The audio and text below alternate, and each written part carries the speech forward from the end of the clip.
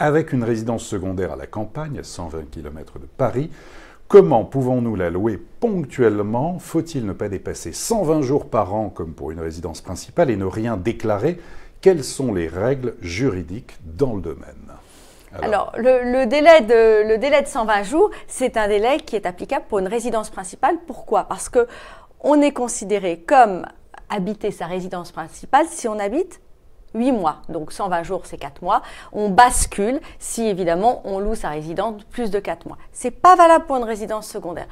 Pour répondre à Marie-France concernant la résidence secondaire, il y a deux obligations. Une obligation fiscale de déclarer ses loyers revenu foncier, micro ou pas, ça dépend de, mais il faut qu'elle le déclare. Voilà, c'est obligé de déclarer, bien sûr. Tout à fait, fiscalement. Et puis, une, euh, une, obligation de déclaration administrative, puisque vous devez aller en mairie faire une déclaration disant que vous faites du meublé euh, pour un usage touristique. Du meublé de tourisme. Donc ça, il faut le dire. Exactement. Toutes les mairies sont concernées, toutes les villes sont concernées ou Toutes les villes sont concernées par la déclaration.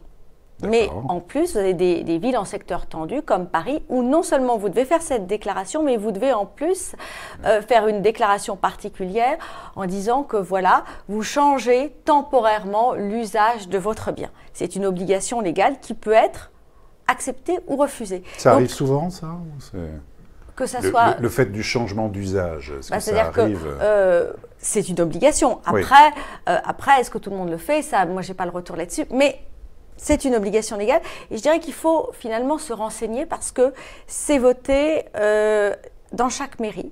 Et donc, euh, vous devez vous renseigner pour voir si dans la mairie dans laquelle vous souhaitez louer votre bien, il y a une autorisation particulière à demander ou vous êtes juste en système déclaratif. Oui.